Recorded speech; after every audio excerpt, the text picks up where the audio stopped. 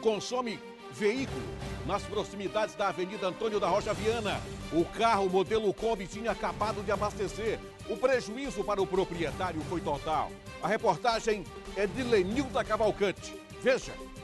Nós estamos em frente ao residencial São Martim, aqui nas proximidades da Antônio da Rocha Viana. Olha a dificuldade, mostra ali, Tapão, a dificuldade dos homens do Corpo de Bombeiro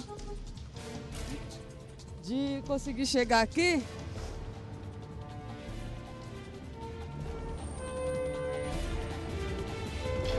Olha só.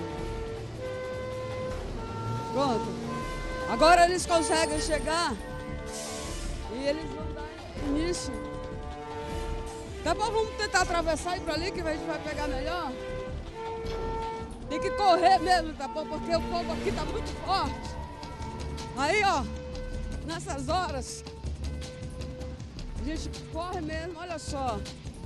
E a. Mostra ali, Tapão, leva pra lá, Tapão. Vai começar ali o. Começar. Vai começar agora aí o. Eles a debelar as chamas e o trabalho do corpo de bombeiro, do, do bombeiro. Realmente. Aí você vê, olha, infelizmente não vai. Não vão poder é, salvar absolutamente nada. Isso afasta um pouco. Esse, na verdade, não é o. Olha, olha só a quantidade de fumaça que, que sobe nesse momento. Aurelius, você viu a, em que parte começou a pegar o fogo? Na parte traseira, né? Na traseira do carro. Não, mas eu não vi, né? Eu ia dirigir cara me apitou lá atrás. Aí quando eu olhei, ele falou pra mim que tava pegando fogo. Aí foi na hora que parou. Aí eu peguei o extintor e fui lá e tava pegando fogo, tentei apagar, mas não consegui. Tinha muito, muito fogo então? Já tava embaixo, né? O fogo tava vazando gasolina pelo tanque. Ah, tava vazando gasolina no tanque então?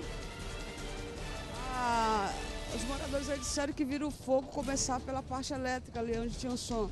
Então você acredita que não foi? Não, eu estava na frente dirigindo, né? começou por trás. Se não pegaria você? É, com certeza.